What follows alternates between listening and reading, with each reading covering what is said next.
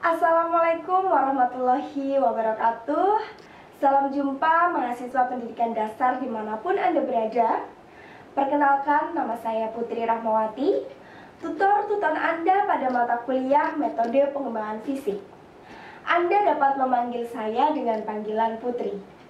Saat ini saya bertugas di Universitas Terbuka sebagai tutor-tutor Anda pada semester ini.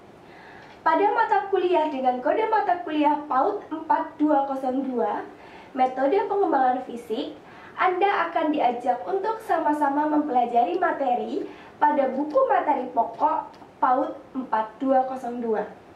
Metode pengembangan fisik yang merupakan modul mata kuliah yang diadakan untuk membekali mahasiswa agar dapat menerapkan konsep-konsep program pengembangan fisik motorik anak usia dini. Untuk mencapai kompetensi tersebut, mahasiswa akan mengkaji hakikat perkembangan motorik anak dan tahapan perkembangannya.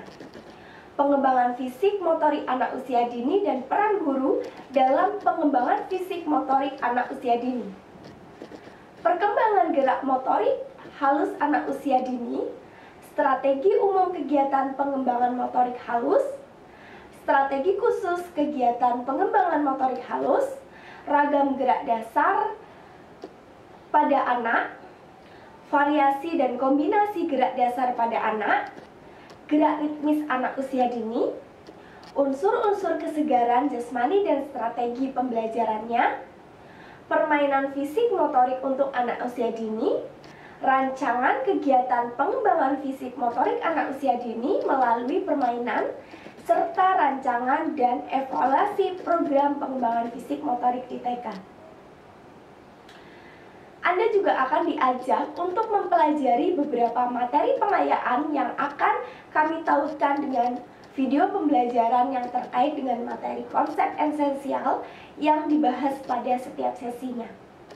Untuk informasi lebih rinci, silahkan Anda baca penjelasan orientasi mata kuliah di bawah tayangan video ini. Untuk itu, silahkan Anda mengikuti setiap aktivitas yang telah kami sediakan.